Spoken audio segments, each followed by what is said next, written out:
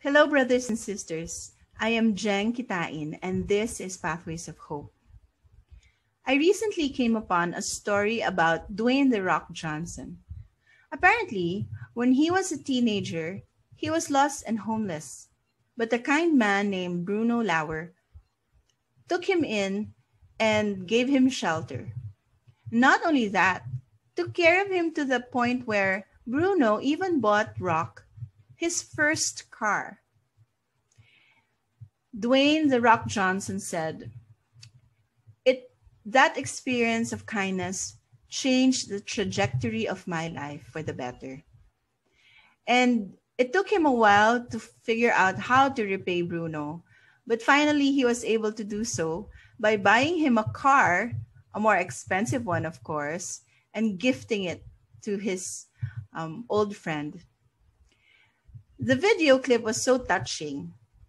Bruno actually said to The Rock, You know, I'm so grateful for you and I love you, not just because of this car, but because of who you are. You are my brother. You're my brother too, Dwayne said. And as Bruno rode the car and started it, he uttered this prayer. He said, Lord Jesus, I don't know what I did to deserve such a brother and friend in Dwayne. And at the same time, he was making the sign of the cross. In today's gospel, brothers and sisters, Jesus says that whoever does the will of the Father is his mother, brothers, and sisters. In this story that I just told, it's so obvious that Bruno, who loves God, became a true brother to Dwayne. Sometimes those kinds of brotherhoods are even thicker and stronger than blood brotherhood. That is the way it is with our relationship with God. When we do what God wants, our family expands. We're never lonely. We're never in want for good people in our lives. We experience kindness, always praying for us.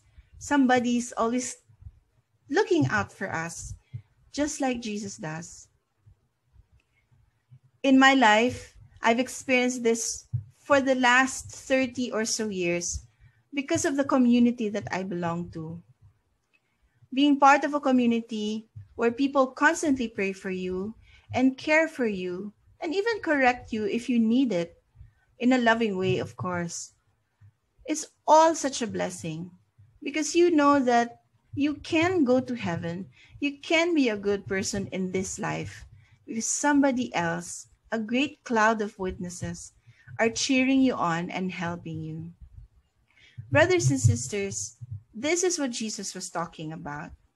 And I pray that if you are looking for this, this kind of family, come to Jesus and he will add to you more brothers, more sisters, a bigger family, not just on earth, but also for eternity. God bless you, brothers and sisters.